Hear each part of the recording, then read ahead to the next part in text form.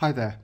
Now in this question we're asked to first of all find the integral of x squared minus 2x plus 5 with respect to x and then go on and hence find the equation of the curve for which dy dx equals x squared minus 2x plus 5 and which passes through the point 3, 11.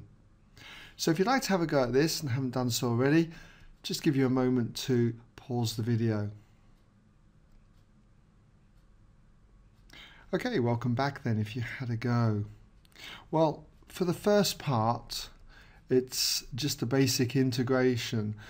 We don't have to change any of the values. The format is just right. So we've got x squared minus 2x plus 5 and we've got to integrate all of this with respect to x. So for terms like this, all we do is add 1 to the power and divide by the new power. So we get x cubed over 3. And then for minus 2x, add 1 to the power, so it's minus 2x squared, and then divide by the new power 2. And for the constant, plus 5, just multiply it by x. But do remember to put plus c or any other letter for your constant of integration. And if we tidy this up, we've got the first term is still x cubed divided by 3 but for this second term those two 2's cancel just leaving us with minus x squared and then we've got plus 5x and then plus c the constant of integration.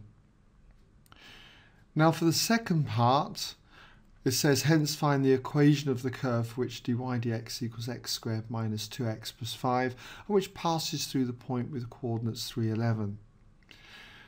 Now to do this part, what we've got to do is essentially integrate our differential equation here. If we integrate both sides with respect to x, what we're going to have here is y.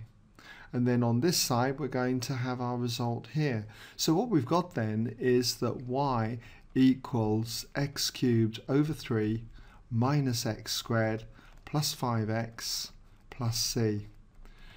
And we've just got to work out that constant c. And to do that, we know that when x equals 3, y will equal 11. Since this point lies on our curve, it must satisfy the equation. So if we just say here then, when x equals 3, we know that y equals 11. And if I number this equation, say 1, all we need to do is sub these results here into 1 so sub in equation 1. And what we've got then is that therefore 11 for y equals 3 cubed divided by 3. Okay, 3 cubed divided by 3 minus 3 squared and then plus 5 times 3 and then plus c.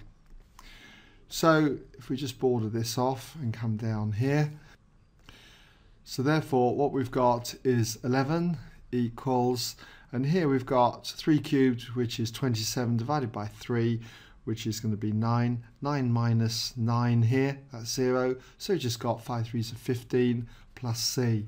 And if I take 15 from both sides, I therefore have c equals 11 minus 15, which is going to be minus 4. So I can just substitute the constant c back into equation 1, okay, into 1. And if I do that, I end up with the equation y equals x cubed over 3 minus x squared plus 5x. And then for plus c, we just have minus 4. Okay?